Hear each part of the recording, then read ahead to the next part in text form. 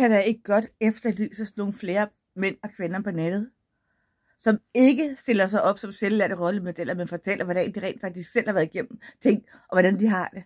Det er okay at være kommet videre, men, men kunne, man, kunne man efterlyse noget ydmyghed? Det kan man jeg heller ikke selv har det, så siger vi det. Kunne man, er der, kan der være nogen internet, psykologer, eller bare mennesker, som er ude for forfærdelige ting, som ikke stiller sig op som dem, der ved, hvordan man skal opføre sig, men rent faktisk tør at indrømme, at de ikke har det så godt. Det behøver ikke være den her hylekoncert eller noget som helst.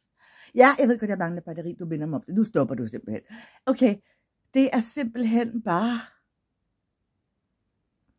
Er, er, I, er I uddannet inden for det her? Ved I noget om det med det? Uanset hvad, er der nogen, der tør indrømme, at de ikke har svaret på alting, at de ikke er rollemodelle, at de ikke skal instruere alle andre mennesker, hvordan de skal opføre sig.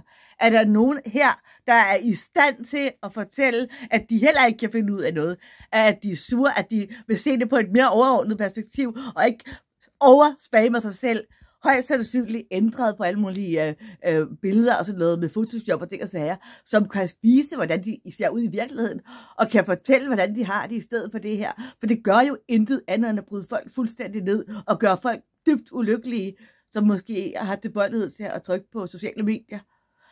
Kan, er der nogen, der kan andet end at stille sig frem og fortælle folk, at de forkerte skal lave sig om?